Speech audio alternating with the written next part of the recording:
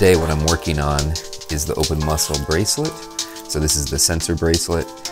It consists of six cells and these are paired together in groups of two. You can see the alternating colors here where it goes blue, green, blue, green, blue, green. So the blue ones are the charging circuits and the green ones are the ESP32C3 cells.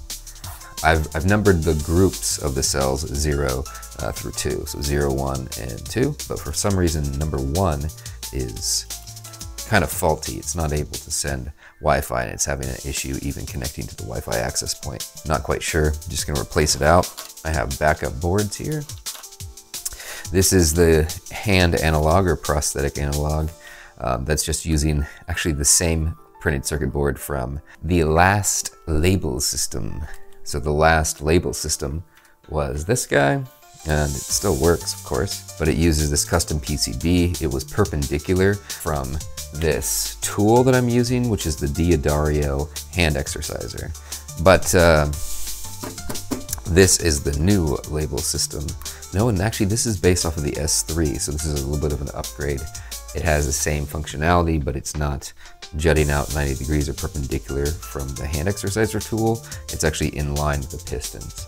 And so we're using just the piston caps there uh, to be able to capture everything. So these caps, the piston caps, um, they are fit to insert into the top of the hand exerciser tool. And then you take the rubber that was initially there, you can put it on the top.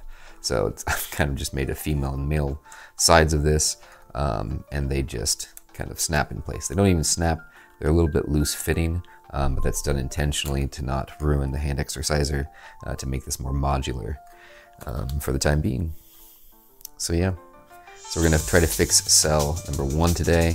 Um, we're gonna take a look to see if we can do our first data capture and see if we can predict finger output. Uh, pretty exciting. So.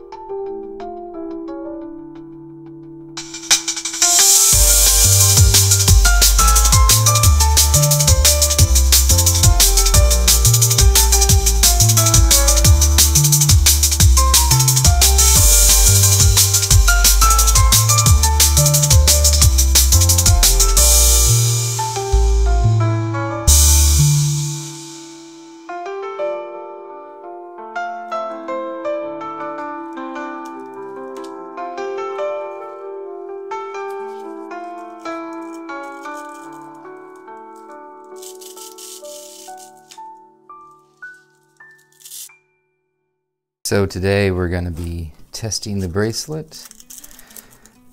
All three of them should be working. Set number one upwards on the forearm.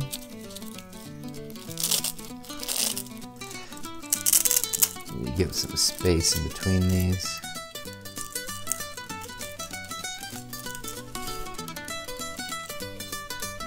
Get this working.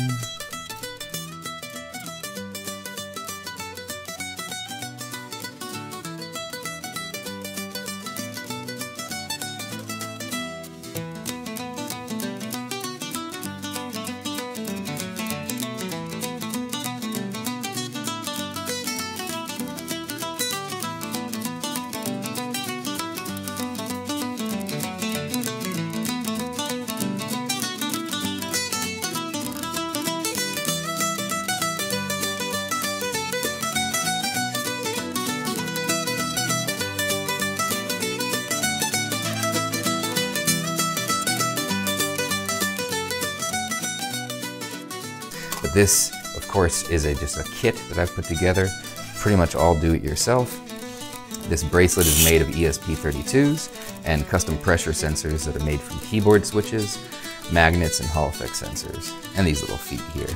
There is a band that keeps them together, which is this type of Velcro band, and we get easy access to three computers, uh, just in case we need to debug an issue.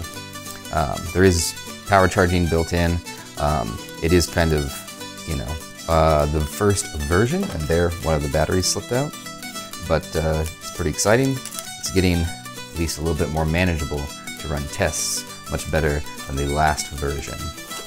So just to show you what we're going to be aiming to do, we're also going to be aiming to be able to control uh, prosthetic hand. And I'm going to go ahead. That was just the boot up process. Going to go ahead and go now to the ESP Now send, so that way I can control these fingers. So yes, this label device can control the hand, but we want the bracelet to be able to control the hand. So in order to do that, we're going to train an artificial neural network to predict or infer finger movements, and we're going to use a regressor. The reason why we're using the regressor is that we have a variable output. It's not just fingers closed or open, but we can do halfway or partial, and it's kind of glitching out here. So it's going to be a little glitchy. Uh, we need to smooth some of these values. But yeah, it's not just a partial. All the way open, all the way closed. And some fingers I'm not. So a classifier might just only have a couple of positions. This, on the other hand, has a variable output.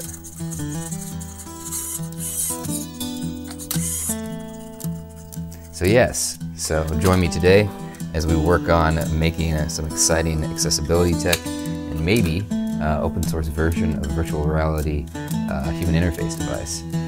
One of the things I've been working on as well is getting haptic feedback, but that been working on that circuit and that's uh, for a different video. So let's dive in.